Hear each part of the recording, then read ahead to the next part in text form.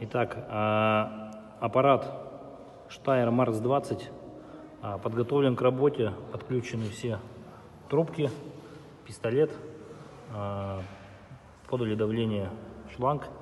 Сейчас покажем его на водоэмульсионной краске с базовым соплом. Делаем тестовый выкрас.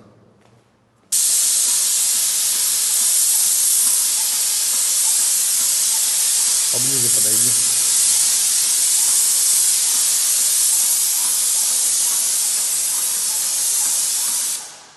Неплохо. Разворачиваем. Мгм.